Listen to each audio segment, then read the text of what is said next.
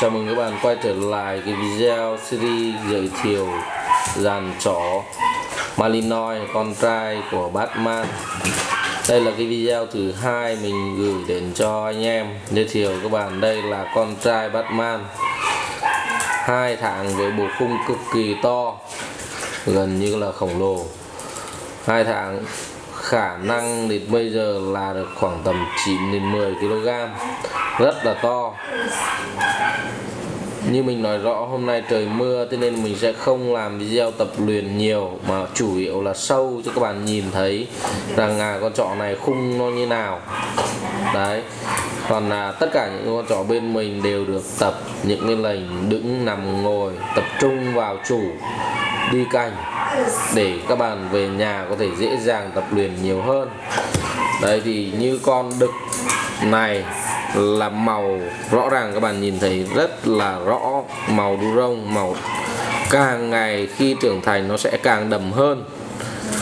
Đấy, và có một cái đặc điểm của con này rất là hay, đó là trước ngực có một đốm trắng rất là to, khá là đẹp. Đấy, và khả năng quẩn mồi cũng như là rất là là là chịu khó tập luyện. Những con chó với cân nặng 2 tháng như này, khoảng tầm 10 cân, thì khi các bạn chăm tốt, nó sẽ trưởng thành, phát triển khoảng tầm 38 đến 40 cân. Đấy, và những cái con chó đã được tập luyện cơ bản như này, khi về các bạn dù không biết gì về huấn luyện, các bạn vẫn có thể tập được với nó bằng cách là sử dụng một ít thức ăn, giữ mồi cho nó bảo nó làm một số lệnh giống như video mình đang làm cho các bạn.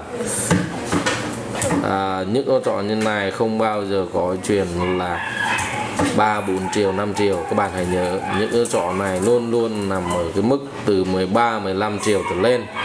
Đấy những anh em nào nuôi bé bỉ ở bên mình cung cấp đều hiểu rõ một điều là giá trị lớn nhất bọn mình cho đi đó là cái giá trị tập luyện như bình thường một con như này bọn mình tập luyện một tháng thu về học phí là 5 đến 7 triệu.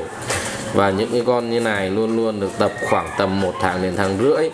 Thế nên là cái cái công để mà đổ vào một con chó chất lượng như này rất là vất vả rất là uh, nhiều công sức và nhiều tâm huyết các bạn đừng so sánh với những con chó mà không bao giờ biết vâng lời là cái gì không bao giờ biết huấn luyện là cái gì. Malinois vốn dĩ là dòng chó huấn luyện. Nếu như Malinois mà không được huấn luyện thì rất là khó chịu. Nó thừa năng lượng nó phá phách nó ừ, ấy, nó chảy nhảy rất là khó chịu. Anh em lưu ý nhá tất cả những sản phẩm bên mình cung cấp đều được tập luyện làm quen với các cái lệnh rất là ổn định. Xin cảm ơn. Chúc các bạn sở hữu được những con trò tốt như thế này.